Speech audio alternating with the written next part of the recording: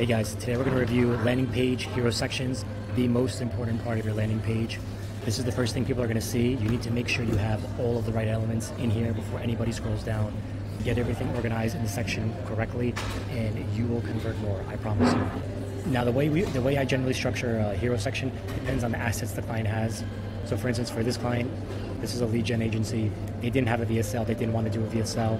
I always just make sure it's bold hook header, bold header, subheading, CTA, usually some bullets, and a VSL. So here there's no VSL, so I rearranged it differently. I made, I just focused on this bold hook, subheader, CTA with a hover, and then I add a kind of effect with these stats. So for clients like this, stats is really important. Stats is basically, it's another way of putting bullets and you're just showing proof and ability of your brand and company and what you've done. This is, stats is gonna be good.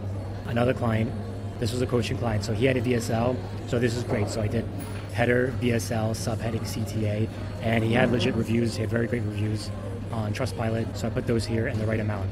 Done, easy.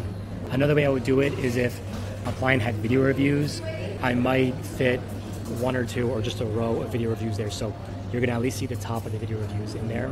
But he had mainly text reviews, so we did it like this. And then I'll put the text reviews further down.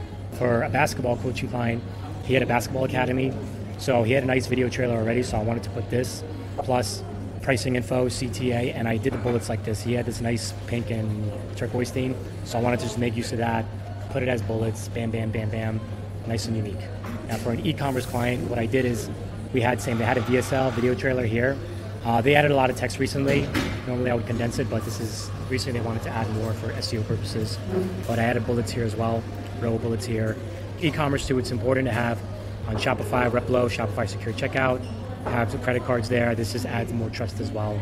So do you see there's many ways to structure your hero section, but you need the five most important things, header, subheading, clear CTA, VSL, some sort of bullets or reviews.